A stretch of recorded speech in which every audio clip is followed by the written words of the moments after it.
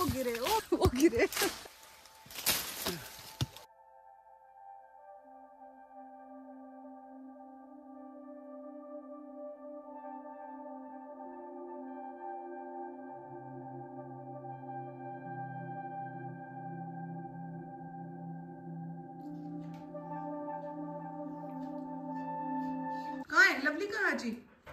इसको पता लग गया ये रनिंग करने जा रहे हो और अंदर ना अपने कपड़े चेंज कर रहे हैं। अपने निकर कर। पहन रहे हो और देखो कब से धक्का मार रहा है दरवाजे पे और कोशिश कर रहा है कि मैं अंदर जाके देख लूँ कितना जल्दी हो सके। भौंक रहा है मेरे को? देखो ऐसे रोज ऐसे करता है ये। बेचैन है पूरे घर में चक्कर लगाता रहता है। और इसको पता लग जाता है जैसे ही प्राणायाम करके उठते हैं।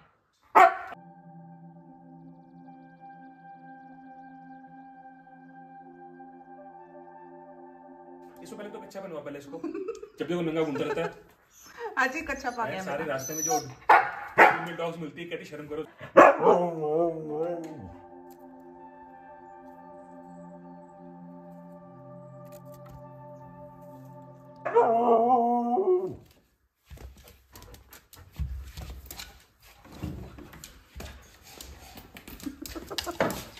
मेरे कहने से तो आएगा ही नहीं ये रे आजी ये लेके आ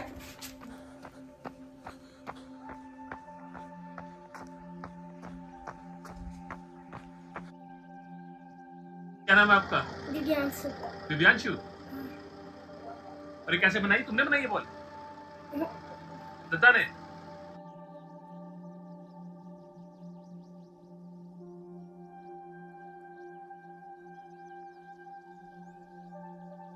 भाई सबको अपनी नमस्ते सत श्री अकाल और सलाम। और राम राम। और राम राम।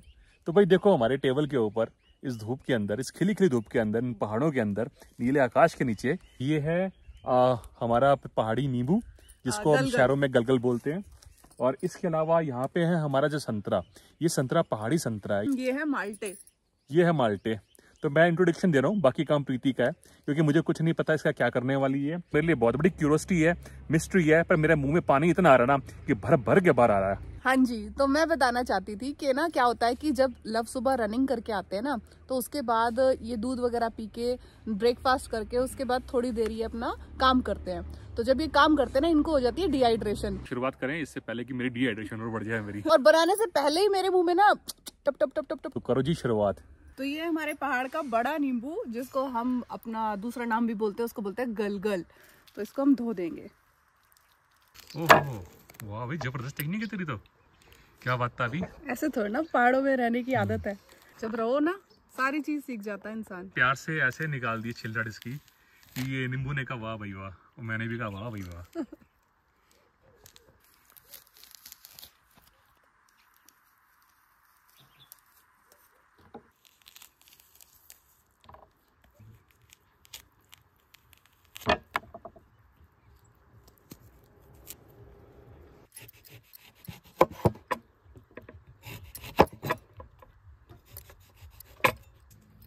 अगर घर में आप गुद्दा निकालना चाहते हो संतरे का तो सबसे बेस्ट तरीका है। उसमें लगाओ चीरे वाड़ दो उंगली बाछे उतार दो उसकी। बक्कल उतेड़ दो उनके। आप हरियाणी बोलते बक्कल देड़ दो हमारे बोलते बाछियाँ ला दे दी भाई ठंड का मौसम है। दुनिया तो भाई ठंड के मौसम में गर्म चाय कॉफ़ी पीती है। और यहाँ प्रीति मैडम ने अपनी शॉप सजा रखी है। लगता है जूस शॉप खोली प्रीति ने यहाँ पे प्रीति जूस कॉर्नर। और उसमें देखो वो चिड़िया भी आ गई तेरे जूस कॉर्नर वो देखो कहाँ आगे बैठ गई देख। वेट रहता है ना मिनट मिनट में आगे बैठ के देखती क्या बन रही है नई चीज़। अच्छा अरिजी एक बात हो वो जो सेब का पेड़ है उसमें ना चार साल से तो नहीं आया फल। तो अभी इसमें आँख आ रही है। तो अभी देखो वो आँख आ रही है वो फल फल पहाड़ी नींबू होता है ना सबसे ज़बरदस्त होता है। इसके कई यूज़ होते हैं नींबू पानी के अलावा भी जो आज आपको पता लगने वाले हैं।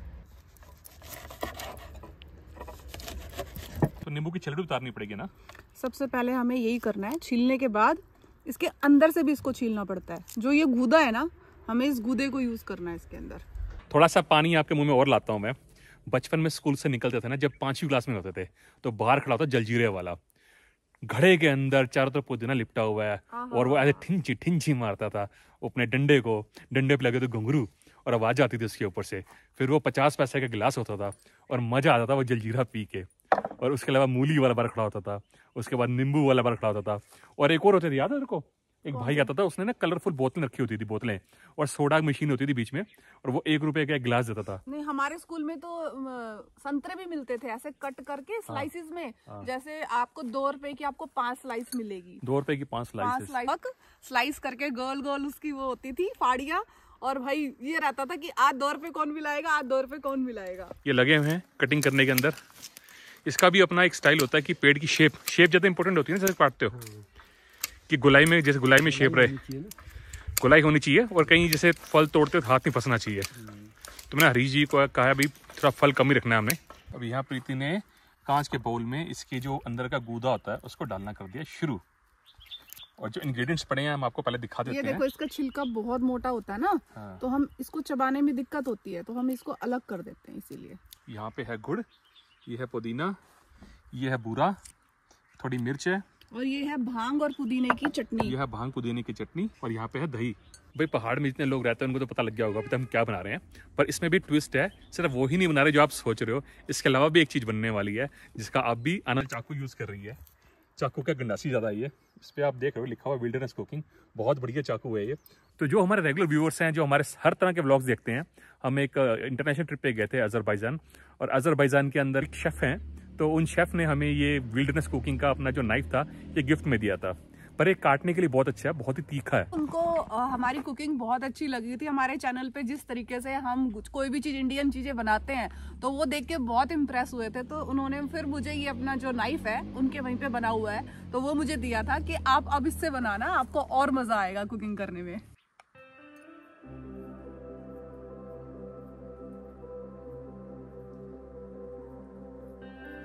भाई नींबू के बाद नंबर आया माल्टे का ये माल्टा बहुत मीठा भी है बहुत खट्टा भी है ये।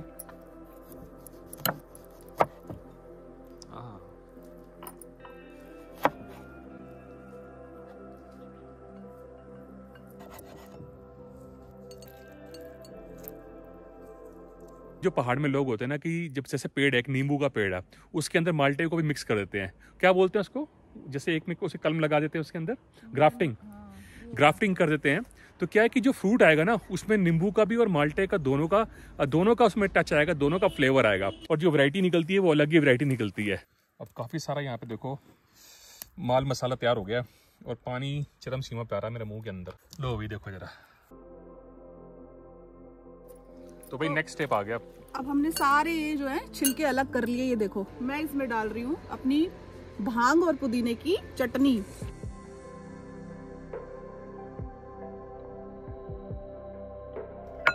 अब गई जी इसके अंदर दही। याद रहे कि भाई दही मीठी होनी चाहिए नहीं तो स्वाद नहीं आएगा।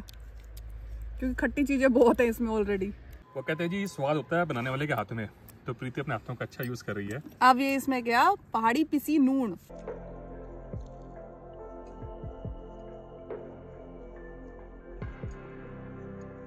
थोड़ी सी मैं डालूँगी इसमें चटपटा स्वाद देने के लिए ये लाल मिर्च ज़्यादा नहीं हल्के से। आखिरी में डालेंगे सबसे आखिरी में गुड़। थोड़ा सा क्रश कर लो इसको। नहीं तो ये मुँह में आएगा। थोड़ा सा बरीक बरीक होगा ना तो फिर आपको टेस्ट और अच्छा देगा और थोड़ा घुल जाएगा। जब हम इसको मिक्स करेंगे ये अच्छे से घुल जाएगा। वो जी सारी चीज़ें पड़ गई हैं बीच में। ओहो ज़बरदस्त चीज़ लग रही है। अब लास्ट में अब हम इसमें देंगे अपने हाथों का स्वाद। क्योंकि जब तक हाथ नहीं लगेंगे ना तो भाई पक्की बात है तुम्हें टेस्ट नहीं आएगा।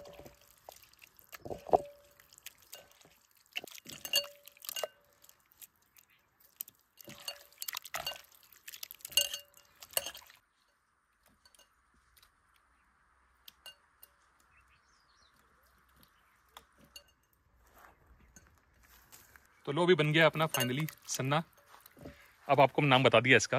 भाई ये बनी है हमारी पहाड़ की स्पेशल डिश जिसका नाम है नींबू का सना नींबू का सन्ना चन्ना बोल लो। हर चीज़ सान सान दिया। बनी है बस सान देता हूँ। जितना जितना इसको हम हाँ। सानेंगे ना उतना ही टेस्टी बनता है। इसमें चाहो तो हल्का सा इसमें सरसों का तेल भी डाल सकते हो। जरा सा माड़ा सा।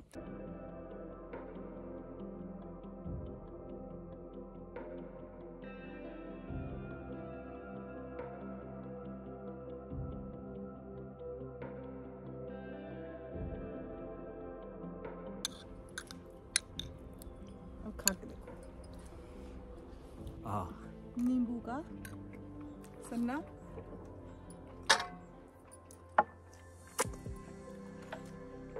ज़बरदस्त। बहुत ही ज़बरदस्त हो रहा। खट्टे मीठे का बहुत ही स्टीक इसमें। मिश्रण है। खट्टा इसका बहुत ही सबसे कहते हैं ना सबका कोई मीठा खाता है कोई खट्टा खाता है किसी को कड़वा भी अच्छा लगता है प्रीति को खट्टा बहुत अच्छा लगता है। मैं खट्टा बहुत कम खाता हूँ मैं पर ये जो टेस्ट है ना इसका ये खट्टे मीठे का जो टेस्ट है ये परफेक्ट है। और मैं छीन रहा हूँ मन करो खाई जाओ।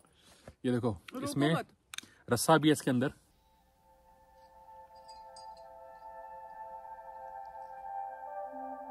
तो आप इसको कीनू के साथ भी बना सकते हो। हम्म। और थोड़ा सा आपके जो घर में छोटे वाला नींबू है उसको थोड़ा सा डाल दो ताकि वो हल्का सा और तेज खट्टापन उसमें आ जाए। इतना चम्मच खा लिया मैंने।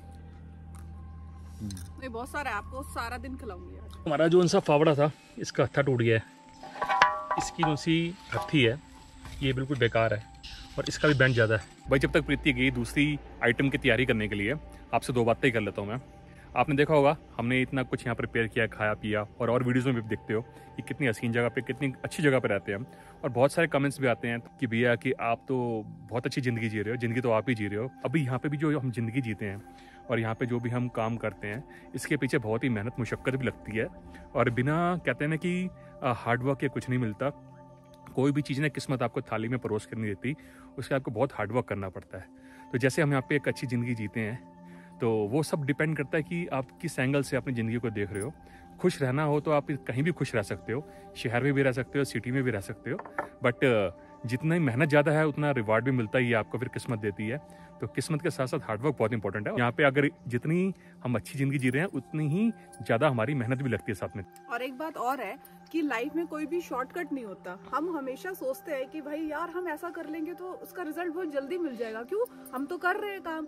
लेकिन ऐसा नहीं होता। उसके पीछे कई सालों की मेहनत होती है। और वो जब मेहनत तुम्हारे कई साल बाद जब वो रंग लाती है ना तो तो तुम्हें पता लगता है कि यार, कोई भी लाइफ में शॉर्टकट नहीं है। उसके लिए बहुत लंबी मेहनत है। फॉर एग्ज़ाम्पल अगर आपको एक पेड़ फल देता है तो वो जो पेड़ है कम से कम आपको छह सात साल तो उसको लगते ही है ज़्यादातर एक पेड़ को एक फल देने में। उससे पहले आप उसकी सेवा करते हो उसको पालते पोसते हो। इसी तरीके से हम अपनी बॉडी को अपने माइंड को अपने घर को चलाने के लिए भी बहुत सारी मेहनत करते हैं। तो आपने पहाड़ी हर चीज़ खाई होगी हमारे ब्लॉग के अंदर पर आज पहाड़ी मॉकटेल आपको पिलाते हैं। तो सबसे पहले उसके लिए हम लेंगे ये क्यूट क्यूट से छोटे छोटे से ऑरेंज जो. हाँ। तुमने सुंदरता और बढ़ा दी बहुत क्यूट है। ये। मतलब इतने छोटे छोटे हैं और यहाँ पे जितने भी ऑरेंज लगते हैं ना ज़्यादातर आपको इसी साइज़ में मिलते हैं। बैठ जाओ। बिल्कुल जी बैठो मेरी सरकार।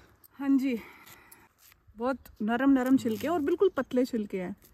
बहुत जल्दी से पील हो रहे हैं। अब हम लेंगे एक ही पत्ता नींबू का।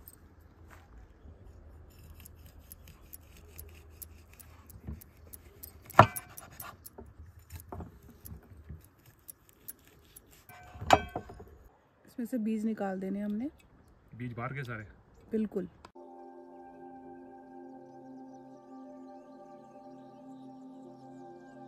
एक जो बात मन में आई है बात शुरू की है तो एक छोटी सी बात और बताता हूँ मैं। सक्सेस का जो फार्मूला है थोड़ा सा मैं आपको शेयर कर देता हूँ। सबको पता होगा सबके अपने फार्मूले होंगे। जो मेरे को लगता है कि ये बहुत ही इंपॉर्टेंट पॉइंट्स हैं। First of thing you have to be hard working second thing you have to be passionate you need to have your dreams उसके अलावा you have to be at the right place at the right time उसके बाद आपकी किस्मत का बहुत बड़ा role है। तो ये सब चीज़ें मिलती हैं तो फिर इंसान को मिलती है सक्सेस उससे भी जो इंपॉर्टेंट चीज़ है, वो है आपकी हैप्पीनेस और हैप्पीनेस से भी इंपॉर्टेंट चीज़ है, आपके मन की शांति। योग्य योग्य योग्य योग्य योग्य योग्य योग्य।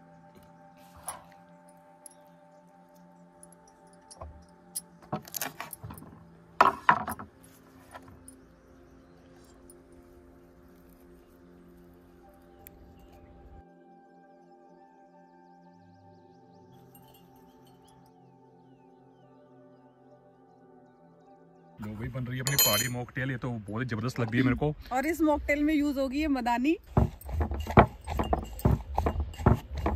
तो पाजी इस मॉकटेल में ना जो ग्लास है ना देखो उसमें जूस आना स्टार्ट हो गया है। वो सारा नीचे को नीचे निचुट के आ रहा है। इसमें जो पुदीने और नींबू के पत्ते हैं ना उनका भी फ्लेवर पूरा आपको निचड़ निचड़ कर दोनों का फ्लेवर आपको मिलेगा बिल्कुल प्योर फॉर्म में। तो अब हम डाल रहे हैं इसके अंदर थोड़ा सा पीने वाला सोडा